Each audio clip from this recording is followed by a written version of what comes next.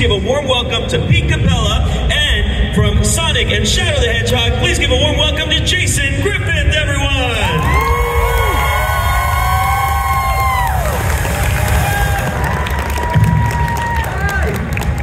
Keep it up, keep it up, give them a round of applause, everyone.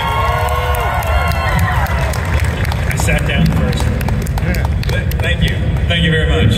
Guys, thank you so much for being here today.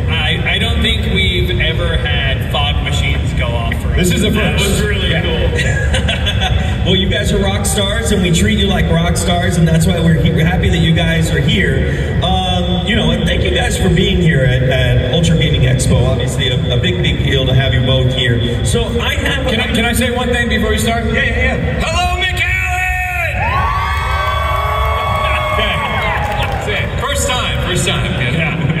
So I have some questions. Remember, audience, think of your questions. I'm going to come out and get some questions from you guys. But I'll start with Jason first. Jason, it's been a while since you've done Sonic recordings.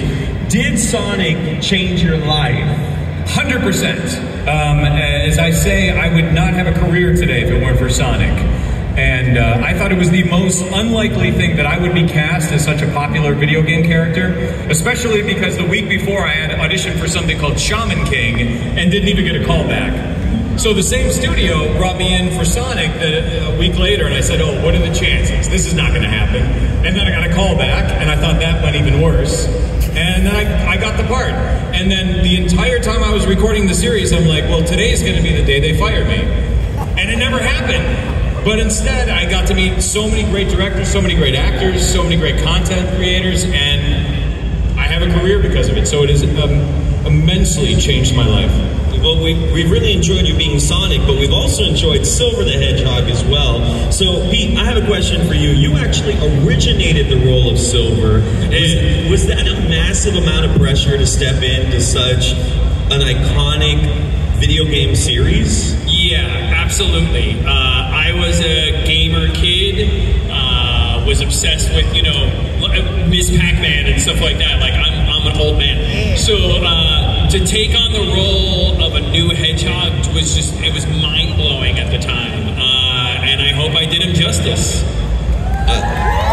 Okay. I was fishing for it and I landed it. I was fishing for You it. did and all right. landed it. now, I have a, I have a, a question for both of you guys. How did you guys, uh, and, and, and I mean, uh, you know, Jason, you kind of touched on it, but how did you guys audition for these roles when you went in for them? So I uh, did my very first anime about a month before I auditioned for 4Kids. I had never done cartoons before, and I worked with a guy named Bill Timoney, and to this day I still thank him every time I see him for my career. Uh, it was just a very small part in this anime, and he said, "You know, what, you're really good at what you do. You should audition for Fox's Saturday morning lineup, uh, Saturday morning cartoon lineup." So basically, he got me the audition for Shaman King, and we went from there, you know. And uh, again, I'm asked so many times how to get into voiceovers, how to, how to have a voiceover career. I never plan on it. I so I have the worst advice. uh, I just had fun doing it and took the opportunity to, you know, do my best work. Uh, Pete? Uh, I was so for that same company. It was 4Kids Productions, and uh, I was acting in New York and doing improv comedy in New York. Was the onset of the internet being used in casting, and so my voiceover reel was up there, but I had only done radio and like lots of like lame commercial stuff. Um, you know, at one point I was the voice of Visa, uh, which no one cares about, right? Uh, and so 4Kids Productions got a hold of my demo, and they were like, "Hey, we want to bring you in," and they kept bringing me in for uh, all these big bad guys, like these deep voice, like Ninja Turtle bad guys and Pokemon bad guys.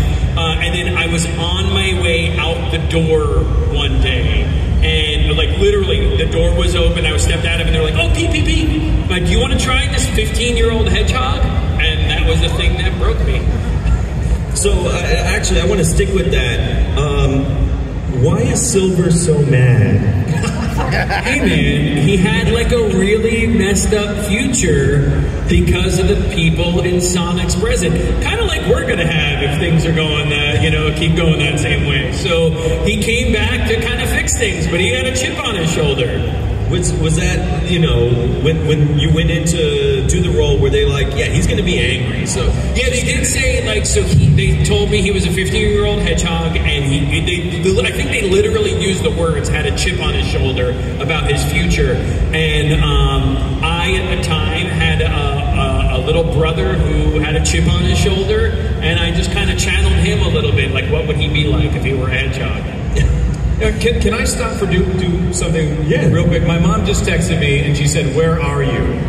So can, uh, when I go like this, can everyone say hi, mom? Is that cool? Okay, here we go. Hold on one second. Oh, oh, hey, mom, I'm just at a convention, so. Uh... they all wanted to say hi. I couldn't stop them. Thank you. give him a round of applause, everyone. She gave me life. Yeah. yeah. I give her a shout out every now and then, yeah. So, uh, uh, Jason, I, I, I want to know, you know, when you went in to do Sonic, um, how did you end up landing the role of Shadow? So, I uh, have very vague memories of this, but I was recording an episode of Sonic X, and uh, an engineer who worked at 4Kids named John came in with a picture of Sonic. And, you know, little, I think it was like a paragraph. Like the sides was just, the audition sides were one paragraph. And he said, Do you want to audition for this? I said, Of course. And, um, I went in, and as you do, they give you the description, you see the picture, and I started thinking, like, what kind of voice would this character have? And at the time, I had a roommate named Carl, who was a chain smoker and also an author, and all he would do is smoke cigarettes and talk about his books. So I thought, oh, that's Shadow's voice. I'll just try it. And so I tried it, and probably, I want to say like a day later, they're like, yeah, you can do the part. so I got to do it. And then Shadow the Hedgehog was the first video game I ever worked on. Really? Yeah. Uh, they brought in the script. It was the size of a phone book. Um, it was weeks and weeks of recording that. And I, again, was thinking to myself, this is amazing. When are they going to fire me? When are they going to realize it's just me, you know? But yeah, that was that 2010 is the answer. 2010. Too soon, man. Too soon. So I have a question for both of you. Sonic is known for his catchphrase, gotta go fast. If Shadow and Silver had catchphrases of their own, what do you think they would be? What do you mean if? chaos control.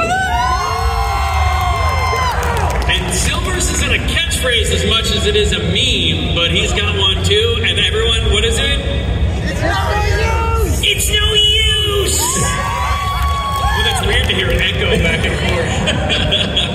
This is the first year that we've been able to hear the echo. Yeah, it's cool. I I've like never it. had that. so, um, I guess uh, for both of you, Sonic has had such a large fan base, obviously.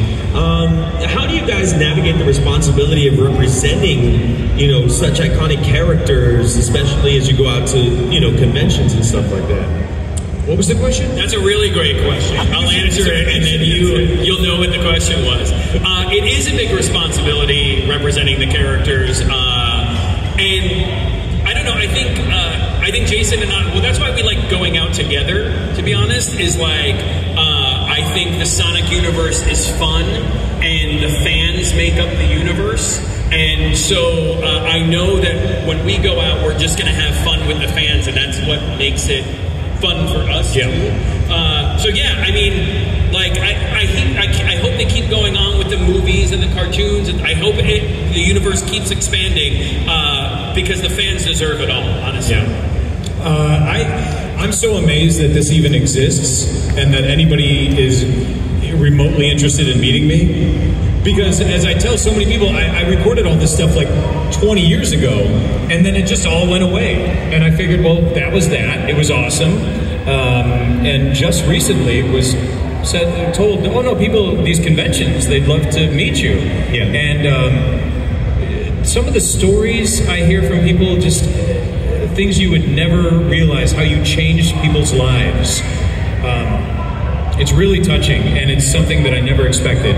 Um, but I'm so grateful that I get to actually do this and tour around and meet people who can tell me their stories and how it's made such a huge difference in their lives.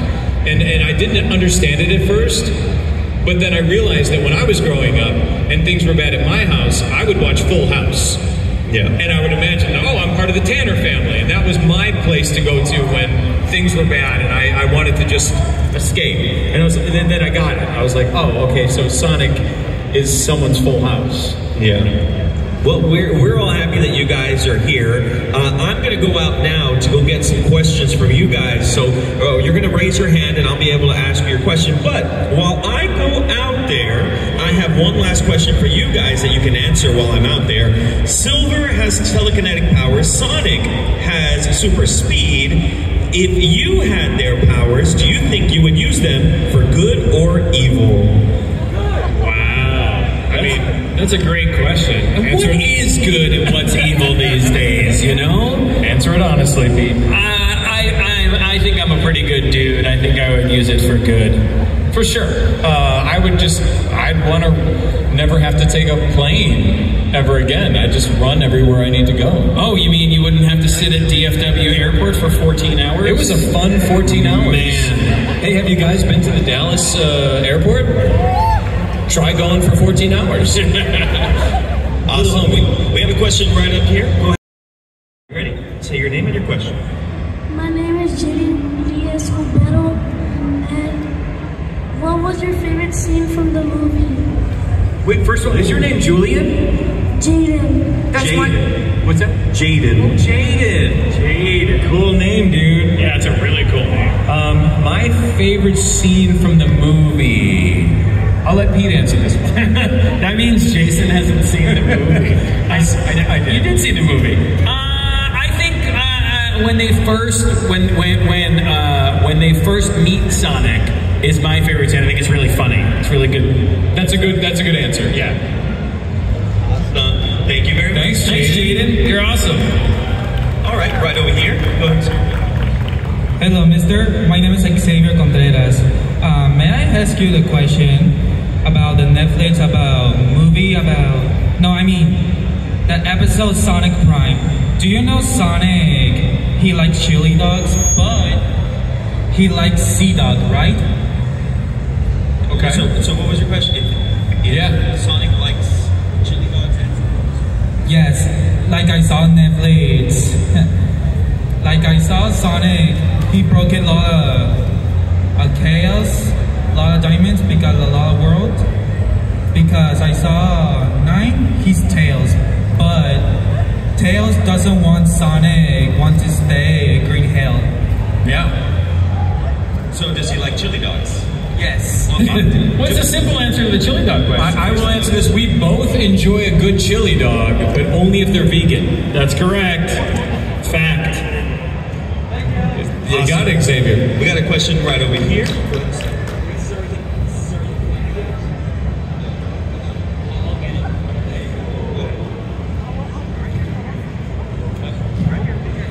And now. Hello again. Hey. Um. Uh, um. Well, is it okay if I'm able to ask about both? Yeah, absolutely. Any feedback? Yeah, Pete, right? Yes. What is your favorite uh, quote you ever said? Closer to the mic. Oh yeah. What is your favorite quote you ever said in Sonic 06? My favorite quote from Sonic 06 was the first line I ever recorded doing Sonic 06. So technically the first line that Silver ever spoke was, I finally found him, the Iblis trigger. and Jason, Yeah. do you think do you think to all the fans, you think you could uh, set that quote from 06 as well? Which uh, which quote uh, from 06? My, that's a pretty snazzy performance there. My, that's a pretty snazzy performance there. Thank you. You got it, dude. Thank you for being you, man. All right, right behind him, we have another question. Whoa, it's literally Tails. Is it Tails? Hi, Tails. Hi, Tails.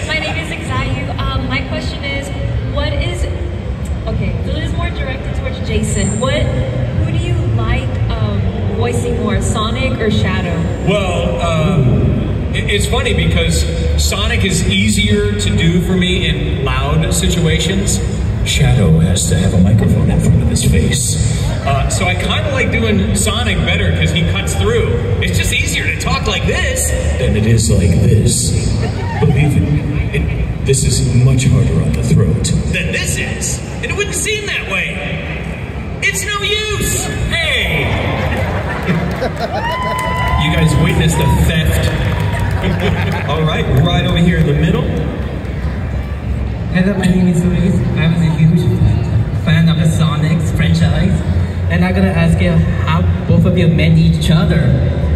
Ooh, that's a good question. Pete, Pete, I know and Jason doesn't. Because uh, there was a time when we were recording 06 and Jason was on his way out and I was on my way in. And they said, hey, will you guys both step into the booth and do some background voices? So Jason and I recorded, that's how we met. And we recorded together. Jason doesn't remember because I'm not memorable. I in have his no eyes. recollection of this. Uh, but we did, yeah. And, and I, the whole time I was in the booth, I was like, this is really cool. I'm with Sonic.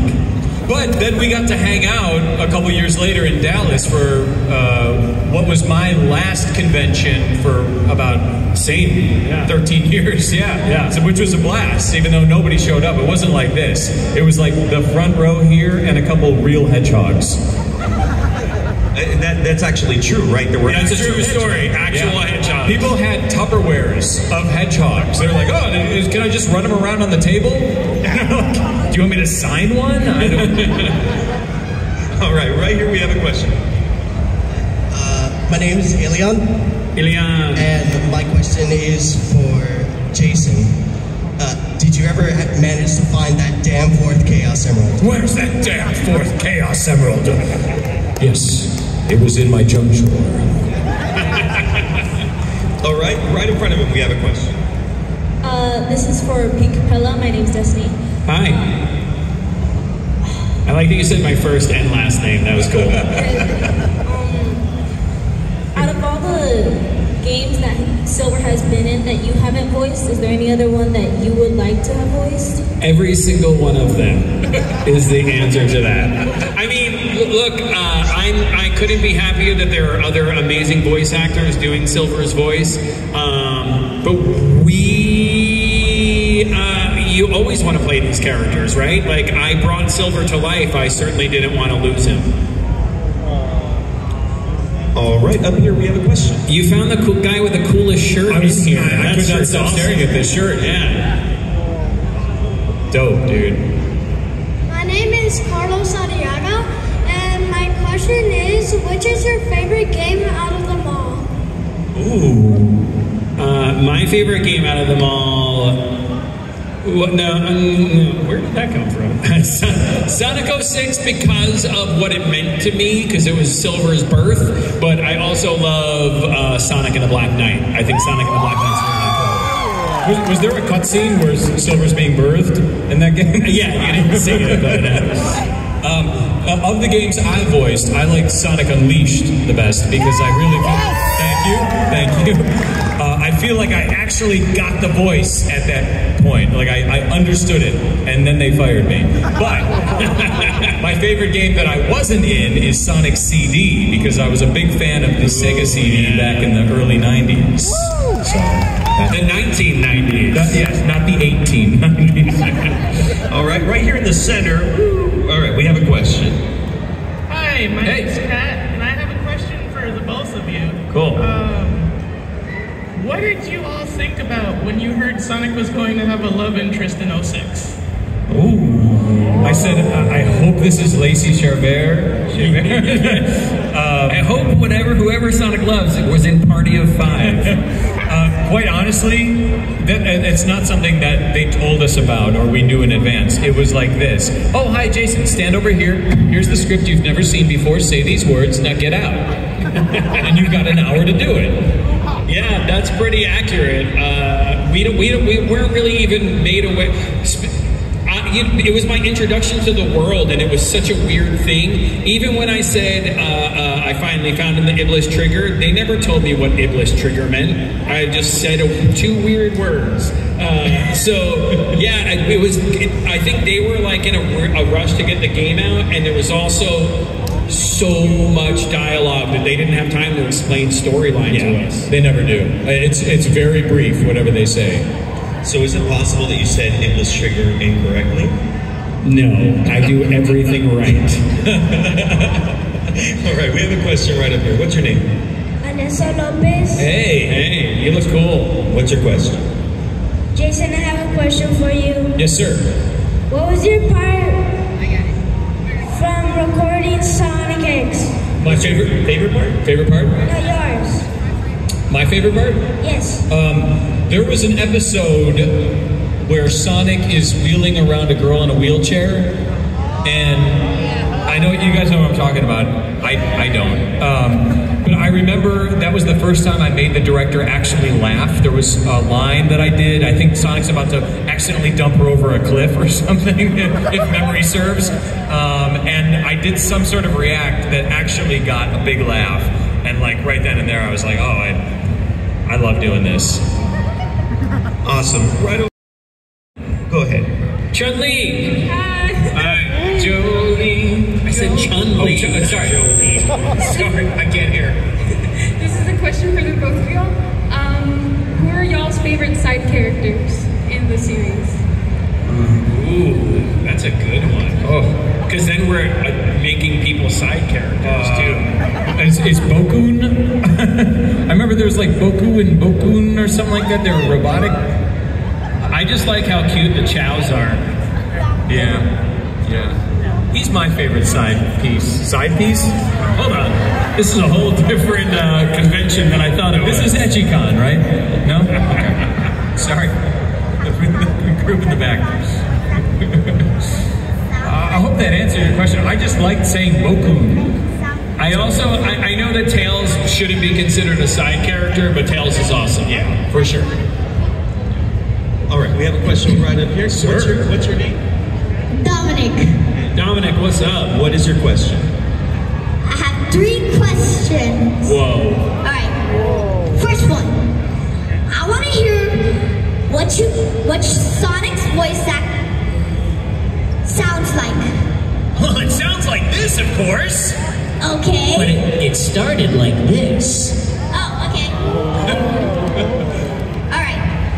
What does you sound like Prime Netflix? Oh man, I'm not in Sonic Prime. Oh. oh sorry. wow. I'm sorry to crush your dreams. The last thing I want to tell you is my favorite dream on earth. Oh. Sign my Sonic plushie. I think it can happen. He'll sign it for you at your table. How Yeah, we're doing we're doing sign, signing. We take pictures together. We can do videos. Yeah, dude. Awesome, man. Run away. So we have another question right over here. Go ahead and stand up. If you can say your name and your question. Oh, hello, my name is Nicole. Hi, Nicole. So I had a question. It probably sounds dumb, but I, I hang out with Jason. Every question Yeah, sounds he's, dumb. he's heard it all. so you mentioned before that you guys like did a lot of 4Kids voices, and there's like a commercial with them singing the national anthem, and I wanted to know if you like remember it, but also how you feel about it. I could never forget it because every single Fourth of July, someone tags me in it and reminds me how horrible I sounded. I did not want to do that, but they're like, "Do you want to get paid today?" So I sang the national anthem. I didn't uh, get to voice the national anthem uh, for four Does kids. everyone so want to hear Silver sing the national uh, anthem right now? Right, right up here in front of you. Hi, my name is Hani. Nice to meet you. Hi. My question is, uh, what's your favorite Sonic song? You heard their favorite Sonic song? Can I ask? Can I ask a question? Where'd you get those awesome pants? I made them. Oh, so cool. Uh, I like Supersonic by Jamiroquai. Mine obviously has to be Dreams of an Absolution. Has to be. It's the only answer. And the only one I know. So you can't see this, but he actually has uh, some fuzz underneath his jacket. I can see it. Uh, okay, go ahead. Uh, well, it's a question for both of y'all. It was kind of like the same one. What are your favorite non-hedgehog characters? In the Sonic universe or just in general? Uh, Sonic universe. Non-hedgehog characters that you love. Maria, the maid, voiced by the great Mike Pollock. Oh, right. Yeah. Blaze is a cat, and I have to say Blaze. Yeah. Yeah. All right, we have another one right here. Name and question. Hi, my name's Roxanne Hernandez. I have a since um, Valentine's Day is coming up. I was wondering, like, what about uh, Sonic, Shadow, and Silver would say as a pickup line to pick up uh, their loved ones? I, I'll tell you the one uh, pickup line I know in Japanese. Ojo-san, denwan bengo oshiete kulero? Translates to, yo baby, what's your phone number? Uh, I obviously Silver. I, I, did, I thought of a good one for Silver. Hey, hold on. I think I see you in my future. And Shadow, of course, would say, Would you like to control my chaos? I Shadow would just hold up a gun and be mine. Damn it. All right, right in front of her, we have another question. Uh, my name is Enrique. Hey, hey man. Hi. Got your question? That's okay, I forgot the answer. Uh, what did they do to get you to voice the werehog? Uh, they said you're voicing this werehog. and uh, it was painful because, as a lot of people know, I was sick when I was recording that, so I really had to push hard in order to not sound sick. Uh, but those werehog screams, man, those were. I could taste blood. When you hear the werehog screams, just know that Jay Griff is tasting blood. Hey guys, uh, Lisa Ortiz, uh, Amy Rose just texted me and wants to know if I can get a bite to eat. Uh, can we can we just say hi to her real quick? Yeah. All right. Wait. Hold on. Ready? Uh, three, two, one. Just say hi, Lisa. Hi, Lisa. How you doing? You want to get a bite to eat? There's, there's great places here in South Texas. Let's go. I cut him off.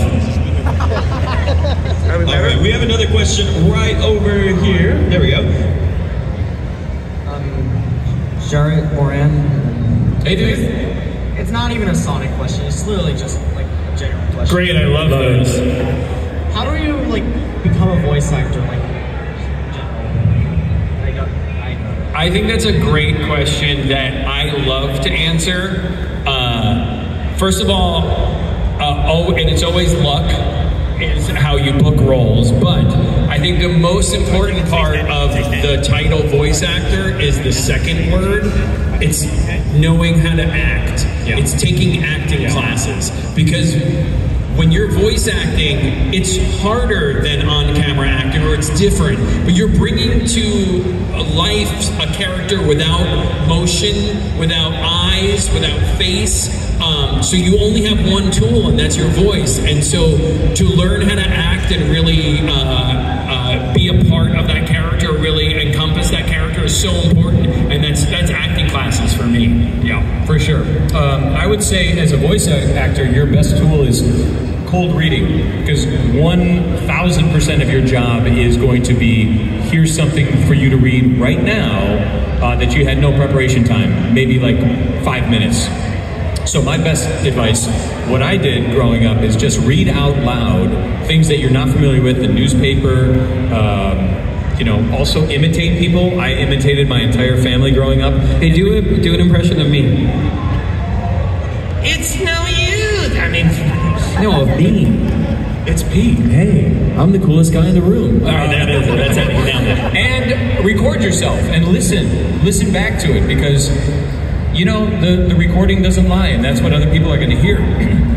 So you can hear yourself as you're talking, but if they play it back, if you play it back, you can pick up on things you like or you don't like or what you want to improve on, and then you can actually start developing characters, character voices. And I say like challenge yourself by doing things that you know you can do and then do things that you're like, I know I can't do this voice or that voice. Try it. Because that's when some of the greatest voice acting I think comes out. Like when I did Usopp, I had no idea I was gonna even audition with that voice.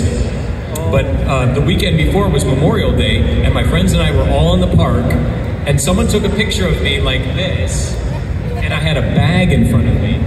And my friend saw the picture and said, Oh, look, it's Eddie the Troll. So I'm like, What would Eddie the Troll sound like? Oh, Eddie the Troll would sound like this. Oh, that's a bag. I've got a bag. And so it just happened that the next week I have this audition for Usopp, and out of nowhere, I'm like, oh, I'm going to do that voice for it. You know, if I hadn't just been screwing around and having fun, I never would have had that voice in my arsenal. So just have fun.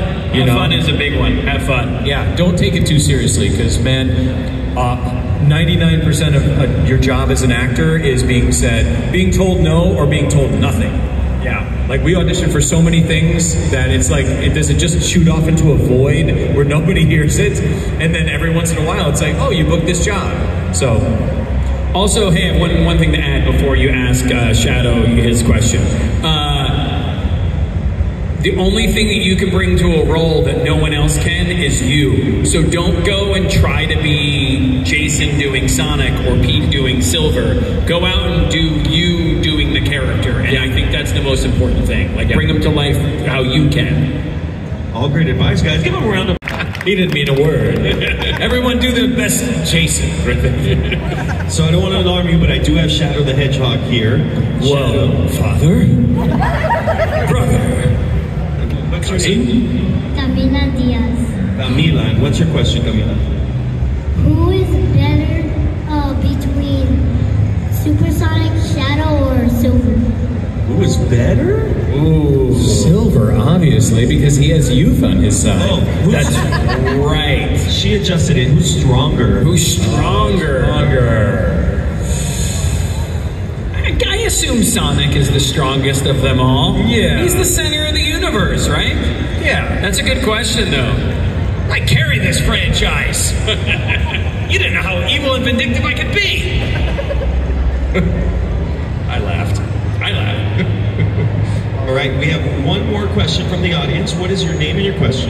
Hi, my name is Julian Ramirez, and I was wondering, what was y'all's reaction when you first heard about the live-action Sonic movie? Uh, oh, I can't wait to be in this. Yeah, we just kept checking our text messages and emails, reaching out to our agents, wondering whether we were going to be in it or not. Yeah. That And was, then- that was the first reaction.